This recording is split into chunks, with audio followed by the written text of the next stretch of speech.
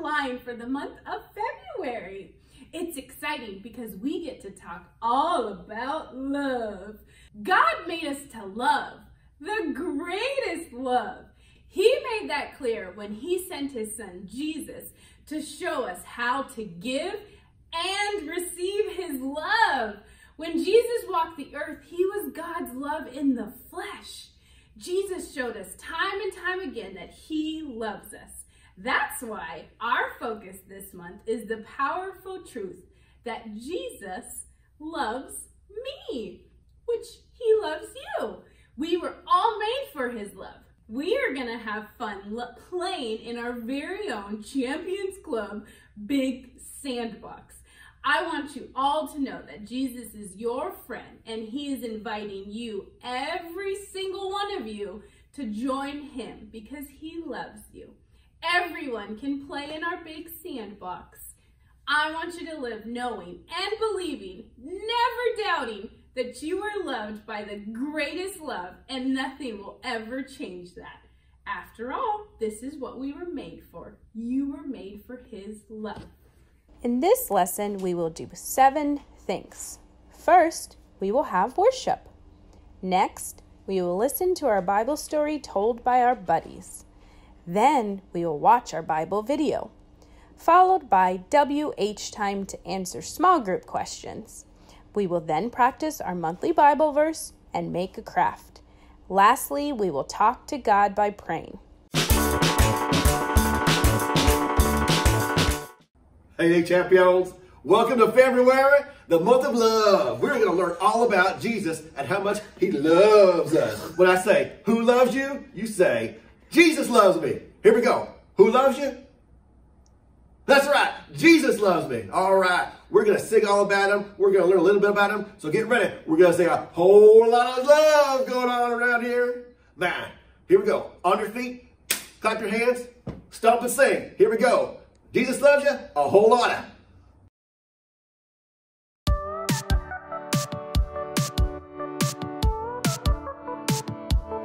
Never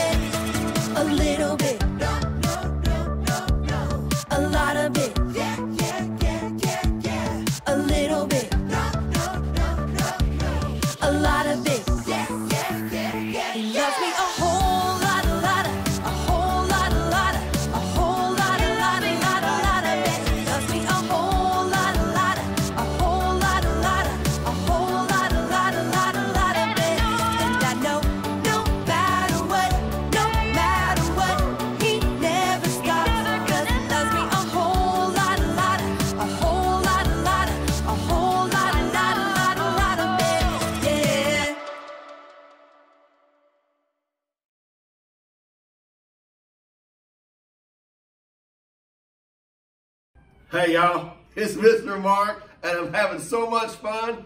Look what I have over here. It is heavy. It's heavy. I'm gonna let you see what's inside here. I'm gonna put it down right here.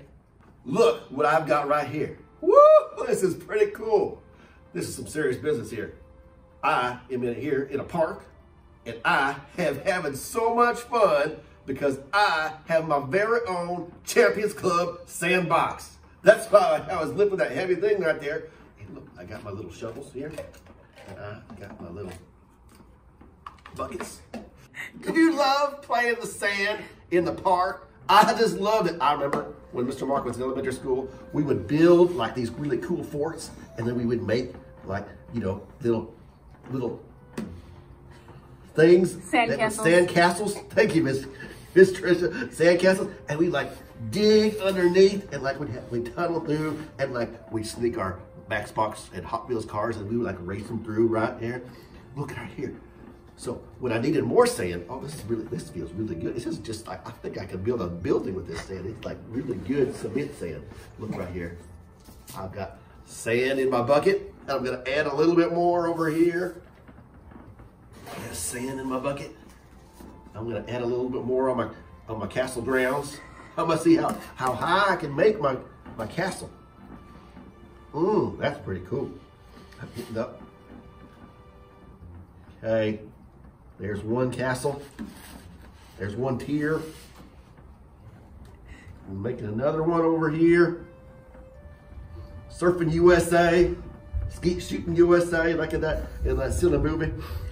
Oh, I just love sand. Oh, I need some more here. I got all kinds of buckets right here. I got a red one and a yellow one. I'm some more sand. Oh my goodness, I need. Oh, look at this. Oh, well, just forget it. I'm just gonna dump it on. this is so much fun. Woo! Look at that sand. I love sand. I love playing in sand. I love being in sand. Oh, just kind of the opposite there of uh, that Jedi Master, you know, Anakin Skywalker who hated sand. Oh, I just love sand. It's so much fun. Anyway, I can't stop playing with this sand. It's just so much fun. But I need more. Ha! Just like, just like anybody, whenever you have lots of candy or anything like that, you just need more and more and more. So I thought about it.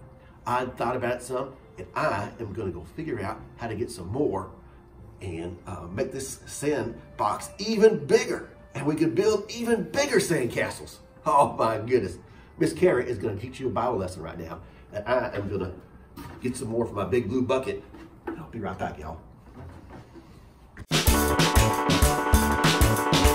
Hey guys, it's me, Miss Carrie, and it's time to hear a true story straight from the Bible. Today's true story begins with Jesus and a really big crowd of people who had come to hear him teach. Now, this story can be found in the book of Luke, chapter 18, verses 15 and 16. Okay? Now, in this crowd, there were some very, very important people. Woo, it seemed like everyone wanted to hear what Jesus had to say. So there were moms and dads and aunts and uncles. There were scientists. Let me show you this. Scientists. You know how they're looking for clues and they're studying things? Woo! There were scientists. There were doctors. Oh, we need our band-aids and we need our gauze to wrap up our boo-boos, right? Okay. And there were fishermen. Oh, I got my fishing pole and there's my fish. Look, it's purple. A purple fish. I love purple. Can you guys guess who the very important people were in the crowd to hear Jesus? Okay, well, you guys, the doctors and the scientists, now these are good guesses, but Jesus teaches us something different. The very important people who were there to see Jesus that day were actually the children. The children in the crowd that day, they wanted to see Jesus too. But Jesus' disciples, they stopped them. Hmm, no, no, no, they said. The disciples told the children to stop and go away. Do you think Jesus wanted the children to go away? Right, no way, huh? Jesus called the children to him, and you know what he said? He said, Let the little children come to me. So they did. Jesus opened his arms wide, and the children came. Jesus told the crowd to never stop children from coming to see him because, you guys, children are very important to him. So, did you guys hear that, champs? Now, watch and say, I am important to Jesus. Can you do that with me? Say, I am important to Jesus. Oh, and you know what? He loves you and he wants to be your friend forever. So when I ask who loves you, I want you to say, Jesus loves me. You ready? Let's do it. So who loves you? Say, Jesus loves me. Who loves you? Jesus loves me. Oh, yes, he does, champs. So you guys, Jesus, he loves you and Jesus loves me so much. So don't forget it. See you guys next time, champs. Bye. Did you guys hear that? Who's coming? Who? Who? Ollie! Ollie the owl! He's coming! Let's go! Just follow me through. Hoo, hoo. Follow me through, follow me through hell. Ollie's got a Bible story for me and you. Stormy Jane. Oh, hi, friends. Stormy, look, it's our friends. You'll have to forgive her. She got a new toy, and as you can tell, it's very squeaky. she loves it. Don't you love it, Stormy? so today's story is about some very important people who came to see Jesus. And Jesus loved those people even more than Stormy loves her squeaky toy. So the true story from the Bible begins with Jesus about to teach a crowd of people. Wow, that's a lot of people. It seems like everyone wanted to hear what Jesus had to say. Now, see if you can spot the very important people who came to see Jesus. There were lots of adults, moms and dads, and aunts and uncles. There were teachers and doctors and carpenters and fishermen and Stormy Jane. Wait, Stormy Jane, you weren't in the story. Get out of there, silly dog. Look, I see the very important people. There they are. It's children. They wanted to go see Jesus too. But Jesus' disciples stopped them. No, no, no, they said. The disciples told the children to stop and go away. But Jesus called the children to him and said, Let the little children come to me. So they did. Jesus opened his arms wide and the children came. Jesus told the crowd to never stop children from coming to see him because children are very important to him. Did you hear that, friends? You are important to Jesus. He loves you and wants to be your friend forever. Oh, hey there, Ollie. Ollie, tell me, who loves you? Jesus loves me. Yes, it's true. Now let's hear it from you. Tell me, who loves you? Jesus loves me. That's the truth, friends. You better believe it. Bye. Hey y'all, I got some some more sand. This should be about right. Mm, it's heavy. It's heavy. Oh, yeah. That is a full sandbox. I love it. Okay, y'all. I got my sand in the sandbox, and now I heard that story about Miss Carrie talking about the children. Wasn't that a great story about how Jesus loved the children? I love sand. And sand, it's an awesome thing. I love playing in sand. I love making little vroom vroom with my cars through the through the through the sand derbies. But I think, and I know that Jesus loves me so much more than I love my sandbox. And he loves the little children so much more than he loves his sandbox. He loves all the championship kids, the champions, so much more than he loves, than I love the sand in the sandbox. I think I got Miss Carrie's lesson. You get it, kids? You got it? Good. All right, here we go. God loves you a lot more than he loves sandboxes. Especially Jesus loves those little children so much more than Mr. Mark loves sandboxes. And Jesus, just like Miss Carrie said, wants to be your forever friend. Mr. Mark doesn't know sign language very well, but I'll just do it again. Your forever friend. It goes on and on and on and on. All right. I'll see y'all next time. See you later, alligator, after Wild Crocodile. Hey champs, Mr. Matt here. What a cool story from Miss Carrie. What a funny introduction from Mr. Mark and his sand and playing all that. I used to do that too. Digging a tunnel and then taking your car or I had G.I. Joes back in the day. Ooh, action figures. So much fun. All right, but guess what time it is? If you said it's time to board the question train, you are right. All aboard. All right, we have four questions. Number one, number two, number three, and number four. Question numero uno Who loves you?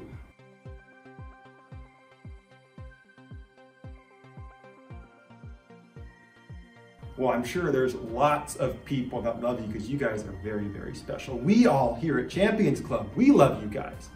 But in our story, there's someone very special who loves you. And that person is Jesus. So who loves you? Jesus loves you. He loves you so much and he wants to be your friend forever and ever and ever. Can you imagine being with Jesus forever? How awesome. All right, good job. Number two, who were the very important people in the crowd?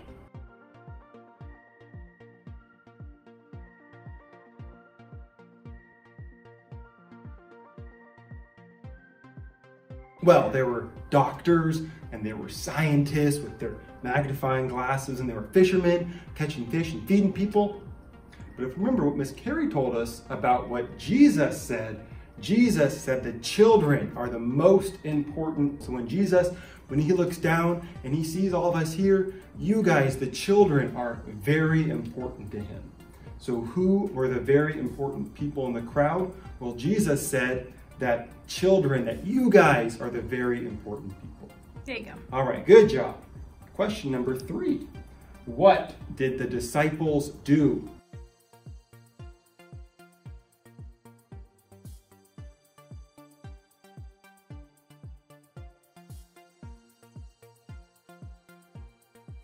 They said, Stop!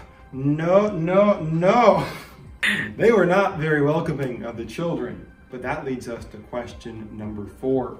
What did Jesus say to the disciples?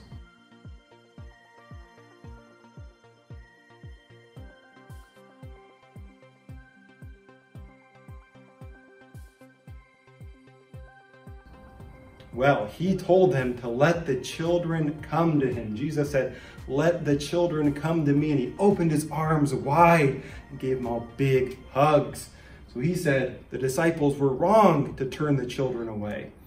So what did Jesus say to the disciples? He said, Let the children come to me. So that means you guys can know that whenever maybe you feel a little sad or scared, that you can run to Jesus and that he will have his arms open to embrace you.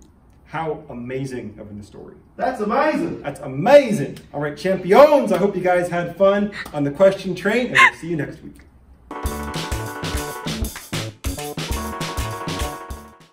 Champions, Mr. Matt here, and our first stop aboard the love train is our memory verse for the month. It is Proverbs chapter 17, verse 17. It says, A friend loves at all times. Let's say that one more time. Proverbs 17, 17. A friend loves at all times. Time for our next stop.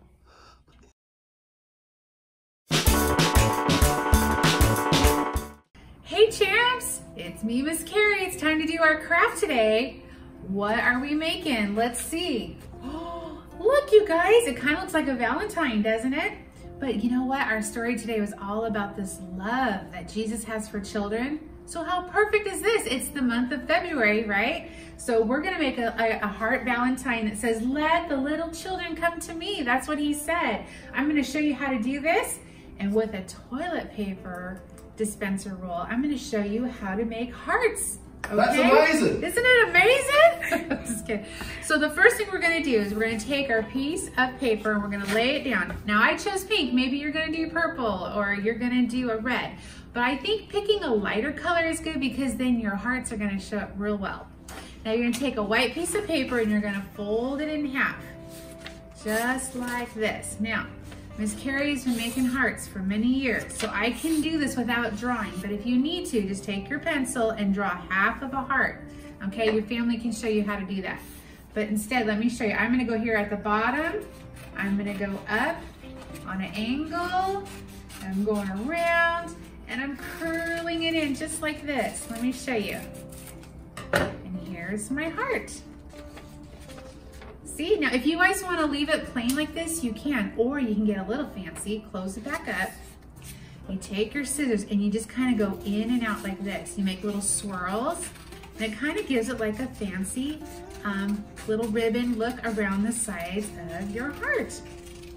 Hold on, we're almost there. All right, let's see what it looks like. There it is. What do you guys think? You like it? Okay. So the next thing we're gonna do is we're gonna write our message on here first. And what is the message? It's let the little children come to me, okay? So we're gonna say, let the little children come to me.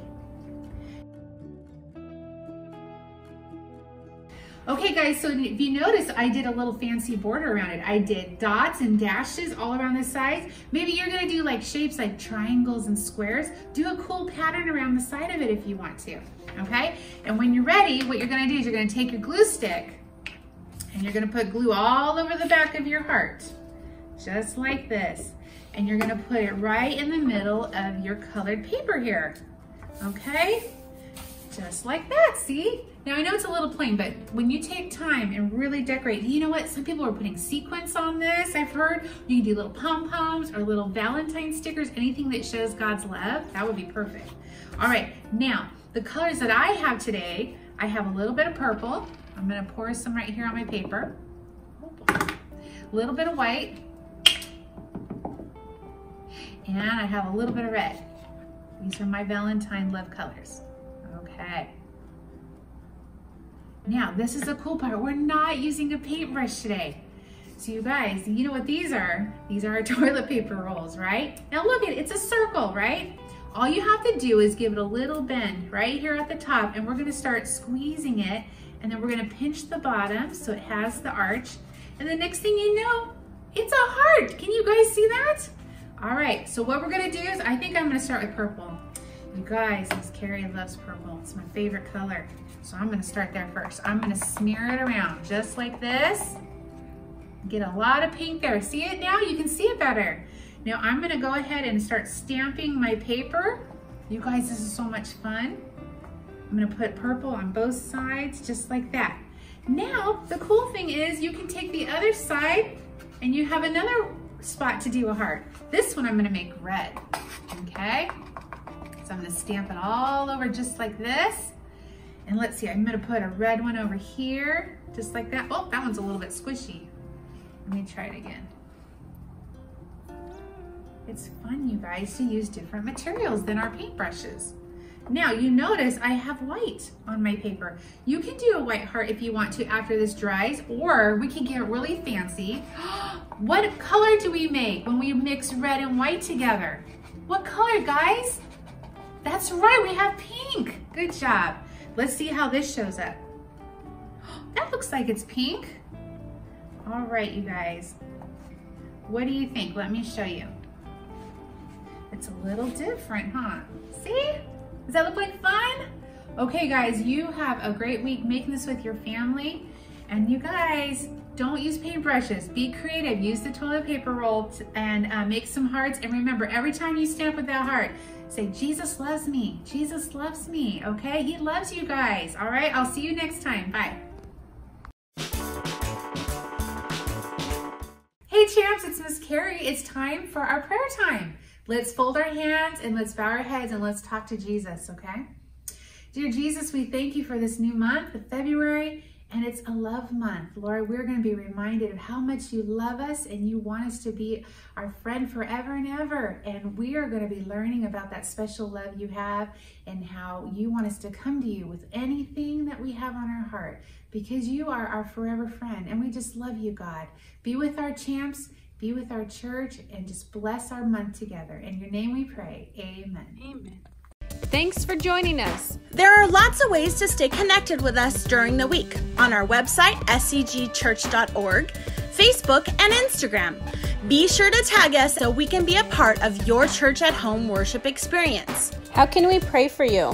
Call or text your prayer request to 714 750 9222, or you can email scgkids at seacoastgrace.org. We'll see you next week.